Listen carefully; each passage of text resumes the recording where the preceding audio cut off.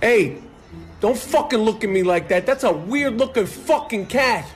Oh, sweet man-made horrors beyond my comprehension. A walking red flag. Shuu is very suspicious and should not be working in a school. The bird you have seen weird sexy fana of, um, he is done he does everything wrong, okay? He is when I hear Dance of the Sugar Plum Fairy, I shit myself, and it is because of this fucking partridge. To quote my strongly worded Steam review, do not try and fuck the Doctor Bird. Worst mistake I ever made.